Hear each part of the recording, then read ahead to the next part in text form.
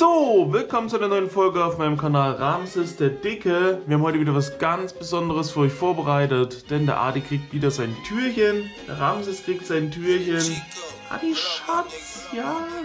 Er hat vor einer Stunde seine Packung Fressen bekommen. Eigentlich kriegt er den erst danach, damit er hier aussieht, als wäre er hungrig. Aber wie ich nun bemerke, ist er immer hungrig. Also ich kann auch ihn erst füttern und dann sein Türchen geben. Das hat denselben Effekt. Wir kommen heute zum Türchen Nummer 21. Hier ist nämlich schon fast alles auf. Vier Türchen sind noch zu. Und ich check's immer noch nicht, weil wenn ich so schräg reingucke, ist in allen vier Türchen noch ein Tütchen drin. Eigentlich müsste in irgendeinem eins fehlen. Weil er ja ganz am Anfang irgendwann mal eins einfach so gegessen hat. Was er da rausgewühlt hat, aber. Vielleicht waren, waren in der 24 auch zwei Stück. Und jetzt ist nur noch eins drin. Adi Schatz. Warum halte ich dir das eigentlich hin? Das ist doch auch selten dämlich. Jetzt setz dich aber schön da rein. Das machst du schon mal gut. Wir machen dir das jetzt mal auf. Ja. Und du kriegst hier dein Schmackofatz. Hey. Eine kleine Schweinenase. Wir müssen gleich den Stöpsel wieder reindrücken und den Rest ihm nämlich dann ins Waschbecken geben.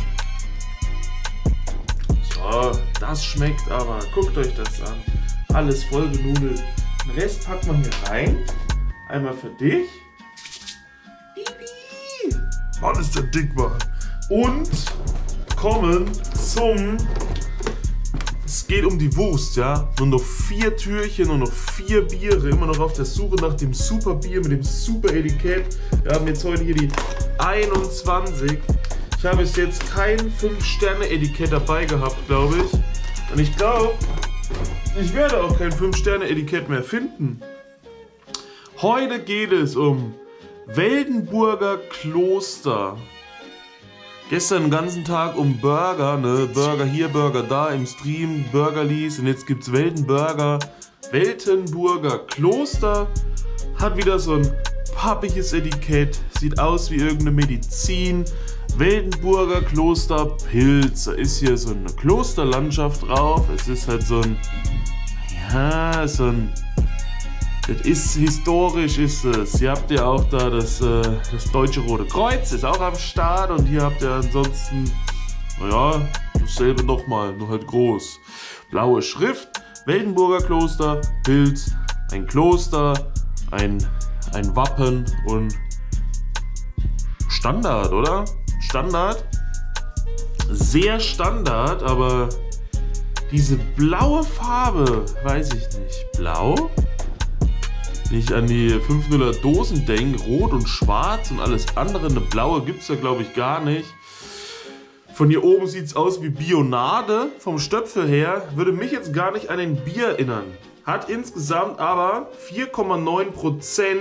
Jeder Schluck ein feiner Genuss. Glanzfein und strahlend gelb. Dichter feinporiger Schaum. Feine Hopfen und Zitrusarom elegant und schlank. Ich würde für das Etikett. Ich gebe mal drei Punkte. Ich gebe mal einfach durchschnittlich drei Punkte. Das ist der Standard. So, kommen wir zu Schaum zur Farbe. Ja, die Schatz. Ja, ja, ja. So, wir füllen jetzt mal hier ein. Machen mal diesen. Der sieht, ja, ist auf jeden Fall klar, äh, klar, glasklar. Mhm, mhm, mhm. Schaum hält sich zurück, das ist gut. Das kriegen wir hoffentlich jetzt alles rein. Nein, kriegt man nicht. Ich habe schon wieder zu schnell eingeschenkt. Bitte, bitte.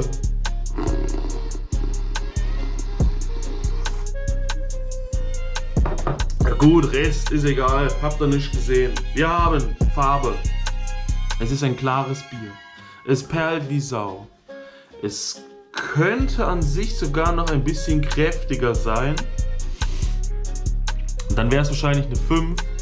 Ansonsten kann ich nichts aussetzen. Großartig, gebe eine 4 bei der Farbe und bei Schaum. Ähm, so stelle ich mir ein Bier vor. Wenn es jetzt trüb wäre und so hell, oh mein Gott. So richtig, so richtig spülmittelmäßig. Das passt. Das hat eigentlich eine gute Farbe. Wie gesagt, noch ein bisschen kräftiger, noch ein bisschen goldener, wird sogar eine 5 von mir bekommen. Ansonsten gute Farbe, kann ich nichts sagen. Geruch.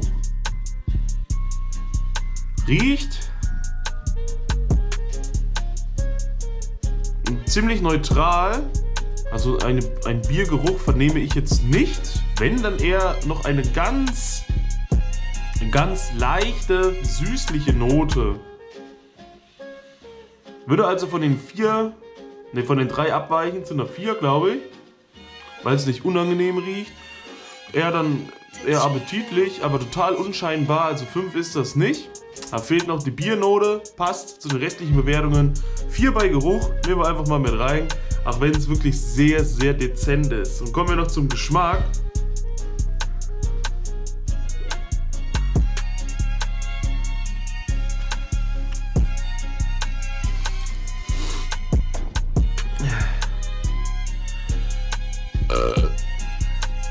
Gut Geschmack. Das wird auf jeden Fall keine 4, auch keine 5. Jetzt müssen wir unterscheiden zwischen Trinken und Absetzen. Trinken und Absetzen, das sind zwei Sachen, die immer eine Rolle spielen.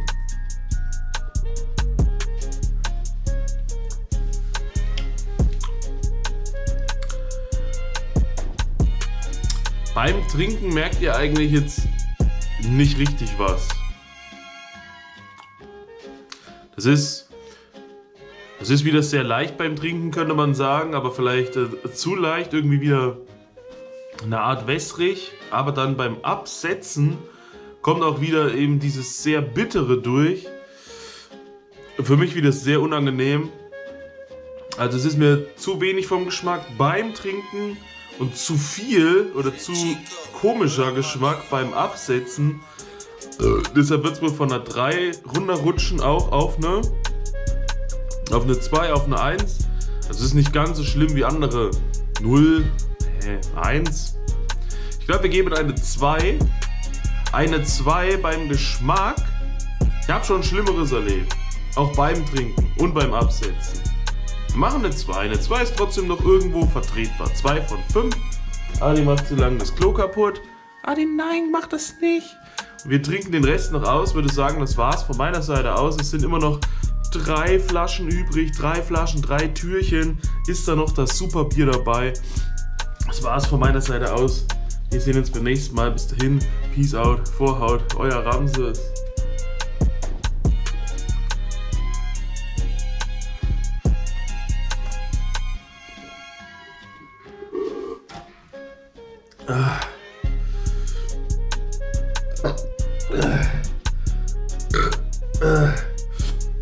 Ah.